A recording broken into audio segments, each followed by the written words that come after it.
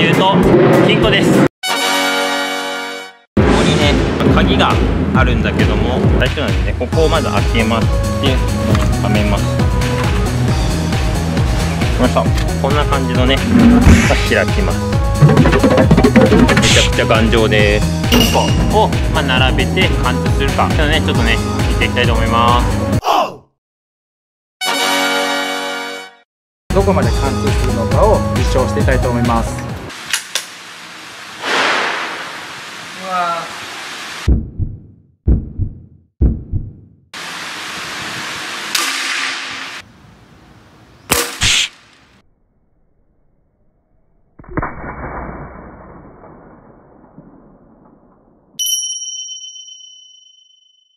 綺麗に当たってます。何個までいってるか見ていくと1個目がこれで。あれ！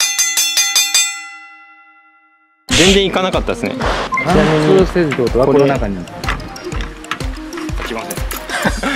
開きません。入ってますね確実に。次は45口径スピーディングフィールドで打っていきたいと思います。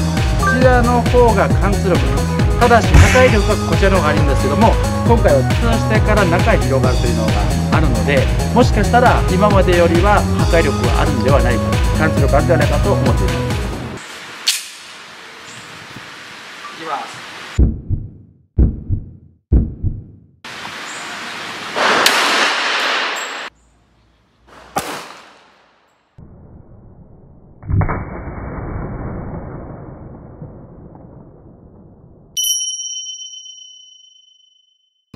でかいっすねこれ穴。さあ1個目貫通してるんでしょうか。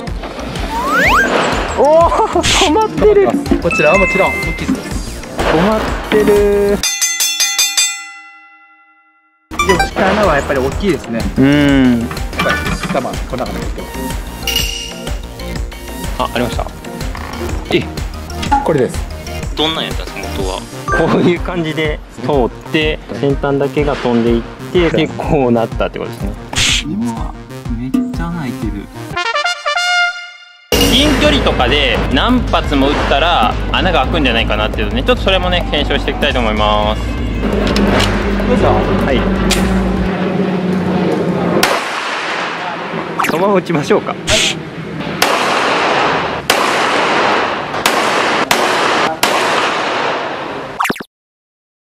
打ち込んだ結果おおあこっちにも。ただこれ1枚だけなんで。そう同じです同じ意味です。2枚で穴開けるのは結構厳しい。もう完全。はいはいはい。検証ですで、えーこちらも同じくただ一発目だけは止まってるんで。うん。検証結果としては、まあ、こちらの、まあ、銃で、まあ、撃つと威力強いんですけどやっぱりこの金庫は強かったっていうかね。一つの壁だけだったら開くけども2個以上は開かないっていう検証結果でした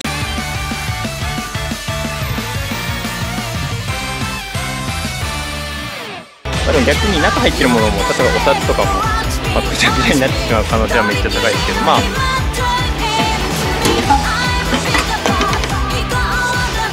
こんな感じでいきます以上検証結果でした。